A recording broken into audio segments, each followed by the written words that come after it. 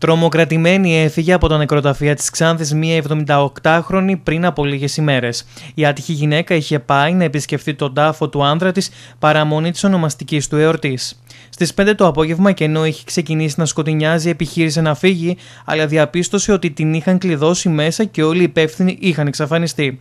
Έντρομη, καθώς το φως άρχισε να πέφτει, η ηλικιωμένη έψαξε για κάποια διέξοδο, αλλά ει μάτιν, καθώς όλες οι έξοδοι ήταν κλειστές. Αναγκάστηκε να πάει στα κάγκελα που βλέπουν την εθνική οδό Ξάνθη Κομωτινής, προκειμένου να φωνάξει βοήθεια, αλλά χωρίς αποτέλεσμα γιατί κανείς δεν την έβλεπε, καθώς είχε νυχτώσει.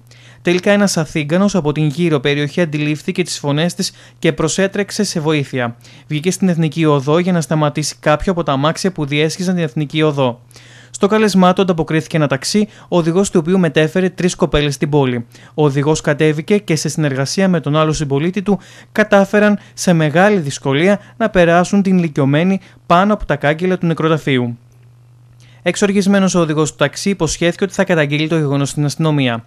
Οι συγγενείς επικοινώνησαν με το xanthipress.gr για να καταγγείλουν το γεγονός και διαρωτώνται πώς είναι δυνατόν να κλειδώνουν τα νεκροταφεία από τις 5 το απόγευμα και χωρίς να έχουν ελέγξει νωρίτερα αν έχουν αποχωρήσει όλοι οι επισκέπτες. Και μάλιστα, όταν οι περισσότεροι επισκέπτες είναι ηλικιωμένες γυναίκες, καθίσταται απίστευτο να υποχρεώνονται να πηδήξουν τα κάγκελα για να καταφέρουν να φύγουν.